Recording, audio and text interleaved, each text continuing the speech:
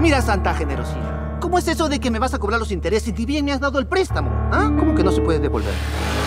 Aquí habrán sorpresas. Mike.